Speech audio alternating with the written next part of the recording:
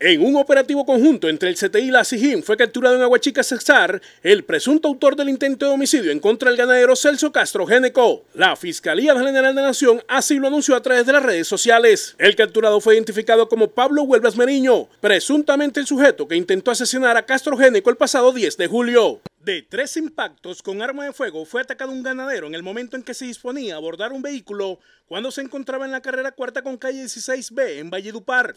Se trata de Celso Roberto Castro Géneco, de 54 años, sobrino del exgobernador del Cesar, José Guillermo Castro Castro, más conocido como Pepe Castro, quien falleció el 28 de mayo del 2017. La víctima fue atacada por un sujeto que se desplazaba a pie en horas de la mañana de hoy tras realizar compras en un almacén agrícola.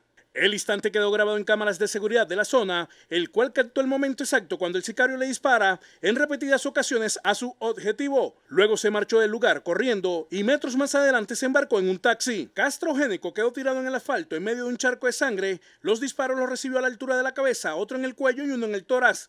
Pese a ello, quedó consciente y habló con personas que lo auxiliaron y lo trasladaron a la clínica Médicos SA. El sicario que disparó contra el ganadero Chicho Castro fue imputado por homicidio agravado en tentativa y fabricación, tráfico y porte de arma de fuego agravado según informó el Ministerio Público. Es de recordar que por este caso ya había sido capturado el taxista en donde se movilizó el sicario que intentó, sin lograr su cometido, quitarle la vida al ganadero. La Fiscalía imputó cargos de homicidio agravado en grado de tentativa y porte ilegal de arma de fuego a Orlando Francisco Colón Gómez, el taxista que conducía el carro donde huyó el autor material del intento de homicidio al ganadero. Al cierre de esta edición de CNC Noticias Bellupar, a Pablo Vuelvas Niño se le realizaba la audiencia de imputación de cargos y solicitud de medida de aseguramiento.